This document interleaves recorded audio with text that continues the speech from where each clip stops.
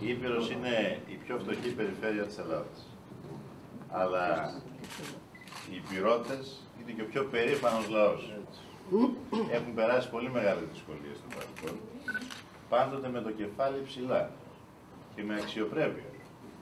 Λοιπόν, εγώ πιστεύω ότι αυτή την περηφάνεια και την αξιοπρέπεια πρέπει να την εμπεδώσουμε ως λαός, γιατί δεν είναι μόνο στους Υπηρώτες. Εγώ πιστεύω όλοι οι Έλληνες και οι Ελληνίδες. Πρέπει να την ξαναβρούμε. Εγώ λοιπόν λέω η χρονιά που έρχεται, πάνω απ' όλα θα είναι η χρονιά της αισιοδοξίας και της αξιοπρέπειας. Θα ξαναβρούμε την αξιοπρέπεια που τέσσερα χρόνια τώρα την έχουμε χάσει από τις πολιτικές της υποτέλειας και της καταστροφής. Πιστεύω στις δυνάμεις μας, στις δυνάμεις αυτού του λαού και αυτού του τόπου. Όποτε πιστέψαμε συλλογικά σε αυτές τις δυνάμεις, τα καταφέραμε ως Έλληνες. Η παρουσία σας εδώ θα είναι γούρικη.